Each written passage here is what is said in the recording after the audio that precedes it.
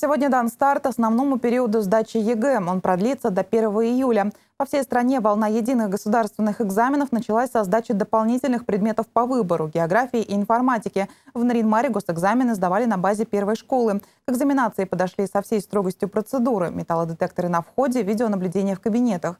До начала проведения экзаменов с выпускниками пообщалась наша съемочная группа.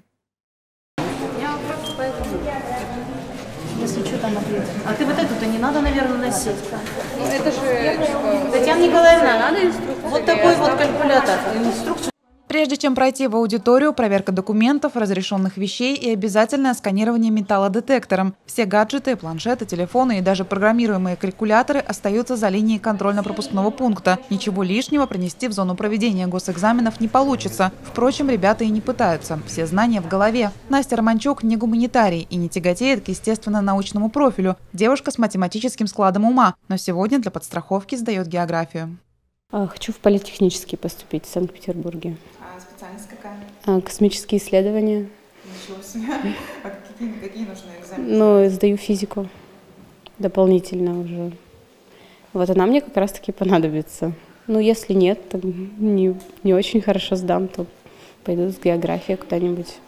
Вместе с Анастасией госэкзамен по географии сегодня сдают 19 человек. 23 выпускника заявились на информатику. Тамара Бабкина, выпускница первой школы, выбрала как раз второй предмет. И тоже для подстраховки при поступлении. Уверена в хорошей подготовке, но, конечно, волнуется. Ну, у нас были факультативы, наша учительница по информатике, она очень хорошо готовит на самом деле. Мы ходили на факультативы, и я думаю, что она дала нам все, что могла. Вот. А как сейчас вообще состояние? Волнуешься? Все-таки ЕГЭ первый.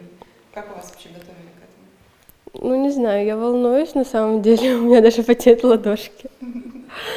Но, ну, в общем, все будет хорошо.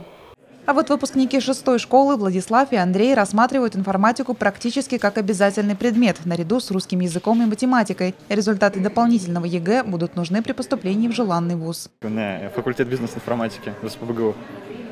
Как готовился экзамен? Ну, основательно. Давно? Да, еще в начале года. Очень. Планирую на 90 баллов написать. После проверки и небольшого ожидания обязательная перекличка. Члены комиссии сверяют списки и разводят ребят по разным аудиториям. Со мной в 37-й кабинет Алпатова, Артеев, Барамохин, Безумов, Курсевич, Лактандер, Могила, Семяшкина, Яновицкий, Ястребов. В кабинете за каждым экзаменуемым закреплено место с номером. На столе только черная ручка, документы и разрешенные предметы, калькулятор, линейка, транспортир. Перед тем, как приступить к заполнению необходимых бланков и выполнению заданий, обязательный инструктаж. Распечатают КИМы уже за закрытыми дверями. По словам членов Государственной экзаменационной комиссии, в процедуре проведения экзаменов по сравнению с прошлым годом никаких изменений не произошло.